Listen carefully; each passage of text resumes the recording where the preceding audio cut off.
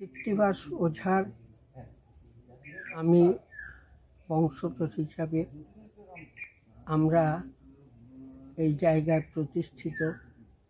রাজা নেই নেই রাজার শাসন, তবু মাথা উঁচু করে দাঁড়িয়ে আছে রাজাদের প্রতিষ্ঠিত রামসীতার মন্দির।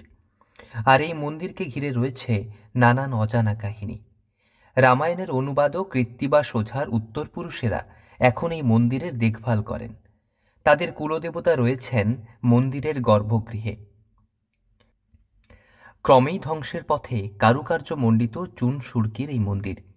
পশ্চিম মেদিনীপুর জেলার সবংয়ের ভেমুয়া এলাকায় রয়েছেন কৃত্তিবাস ওঝার বংশধরেরা।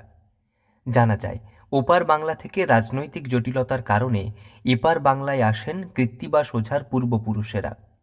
কৃত্তিবাস ওঝা ছিলেন মধ্যযুগীয় বাংলা সাহিত্যের প্রধান কবি। ওপার বাংলা থেকে এসে কৃত্তিবাস ওঝার পূর্বপুরুষ এবং উত্তর পুরুষেরা বাস করতেন নদিয়ার ফুলিয়া গ্রামে। সেখানেই জন্ম কৃত্তিবাসের। গৌড়েশ্বর গণেশ নারায়ণ ভাদুড়ির পৃষ্ঠপোষকতায় তিনি বাল্মীকি রামায়ণের সহজবোধ্য বাংলা অনুবাদ করেছিলেন। বাঙালির আবেগ, অনুভূতি এবং রুচির দিকে লক্ষ্য রেখে সর্বজন বৌদ্ধ পদ্মে মূল সংস্কৃত রামায়ণের ভাবানুবাদ করায় কৃত্তিবাসী রামায়ণের ব্যাপক জনপ্রিয়তা ঘটে। ধীরে ধীরে বিস্তার লাভ করে কৃত্তিবাস ওঝার উত্তর পুরুষের সংসার। প্রায় সাতশো বছর আগে ময়নার রাজার অধীনে ছিল সবং সবংয়ের ভেমুয়া এলাকায় ময়নার রাজার পৃষ্ঠপোষকতায় গড়ে ওঠে রাম সীতার মন্দির। তৎকালীন সময় থেকে মন্দিরের সেবায়তের কাজ করে আসছেন কৃত্তিবাস ওঝার উত্তর পুরুষেরা। আমাদের পূর্বপুরুষ যা কৃত্তিবাস ওঝা রামায়ণের রচয়িতা আপনারা সবাই জানেন। তারা, তারই উত্তরসূরি হিসাবে একটা অংশ আমরা বিভিন্ন জায়গার মধ্যে দিয়ে এখানে পৌঁছাই। হুগলির উত্তরপাড়া, সেখানে বর্গী হামলা, তার একটা অংশ আমরা প্রথমে পিংলার পিঁড়রই গ্রাম এবং পরে ভেউয়াতে আসি। মূলত ময়নার রাজা লাউসেন তার রাজপরিবারের অনেক দিন ধরে তারা পণ্ডিত খুঁজছিলেন।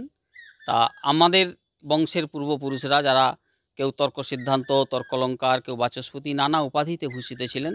তাদের সঙ্গে আমাদের যোগাযোগ হয় এবং তারাই রাজপুরো পুরোহিত হিসাবে আমাদের পরিবারের পূর্বপুরুষরা পুজো অর্চনা করতেন, পণ্ডিত হিসাবে। এবং সেই ময়নার রাজারাই এখানে যতটুকু জানা যায় এই সীতারামচন্দ্রের মন্দির তৈরি করেন। তাদের যাতায়াত ছিল আমাদের এইখানে এবং আমাদের বংশের সেই পুরানো দিন থেকে প্রায় সাতশো বছরের এই প্রাচীন মন্দির, তখন থেকে আমরা সীতারামের চন্দ্রের যে পূজা পদ্ধতি করে থাকি এবং আমরা কয়েকটি ঘর এইখানে আমরা বাস করি। এই কৃত্তিবাস ওঝাদের পদবি ছিল মুখোপাধ্যায়। তবে কৃত্তিবাস ওঝার পূর্বপুরুষ এবং উত্তরপুরুষেরা একাধিক উপাধিতে ভূষিত হন।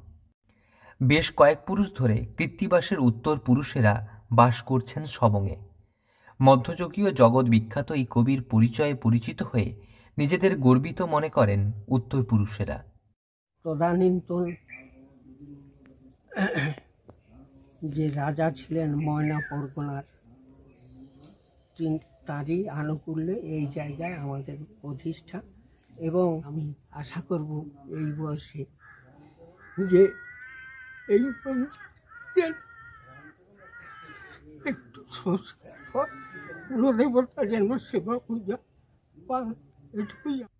রাজশাসনের পর ভেমুয়ার এই মন্দিরটি হয় সেবায়তদের।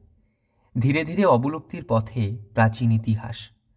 সাতশো বছরে পুরনো রামসীতার মন্দির কোনো করে টিকিয়ে রেখেছেন কৃত্তিবাসের বংশধরেরা।